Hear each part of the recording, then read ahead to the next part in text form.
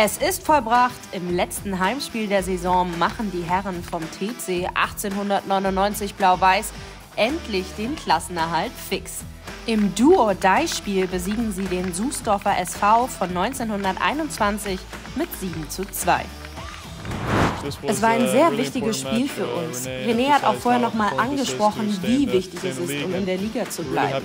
Wir sind sehr glücklich, zu Hause gewonnen zu haben.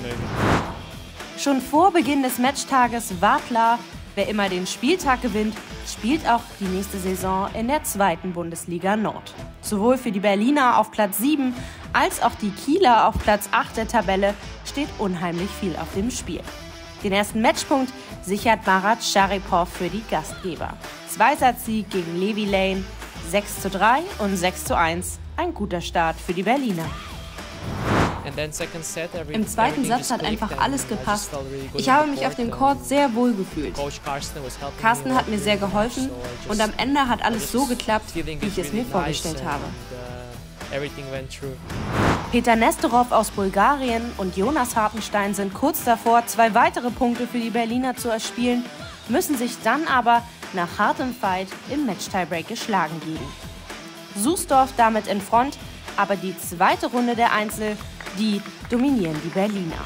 Auch bei schwierigen Bedingungen wie Nieselregen, langsamen Bällen und nassen Plätzen. Sowohl Hadi Habib als auch Michael Agwi können ihre Partien ohne Satzverlust für sich entscheiden. Den Abschluss bildet der Niederländer Ryan Niebuhr, der sich mit 6 zu 4, 6 zu 4 gegen Raphael Perrault aus Frankreich durchsetzen kann. Für mich war es heute wichtig, gut aufzuschlagen. Im zweiten Satz wurde es immer einfacher, meinen Service durchzubringen. Das Break hat es dann nochmal deutlich einfacher gemacht. Aus 1 zu 2 macht 4 zu 2 der Vorteil vor den Doppel, damit klar bei Blau-Weiß. Nur noch ein Sieg bis zum Klassenerhalt. Gesagt, getan, denn die Berliner machen in den Doppeln dort weiter, wo sie bei den Einzelnen aufgehört haben. Ryan Niebuhr und Hadi Habib sind die ersten, die ihre Partie für sich entscheiden können. 6 zu 3, 6 zu 2 der Endstand gegen das französische Duo Adrien Gobard und Jürgen Briand.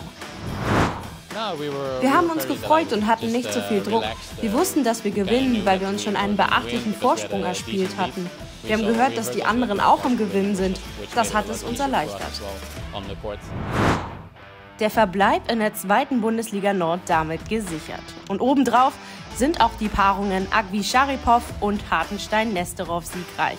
Blau-Weiß gewinnt den Spieltag mit 7 zu 2 und klettert in der Tabelle auf Platz 5. Die Freude bei allen sichtlich groß. Heute war ein sehr wichtiger Sieg. Sonntag werden wir mit viel Selbstvertrauen uh, aufspielen. Es wird leichter sein, weil der uh, Druck nicht mehr da ist.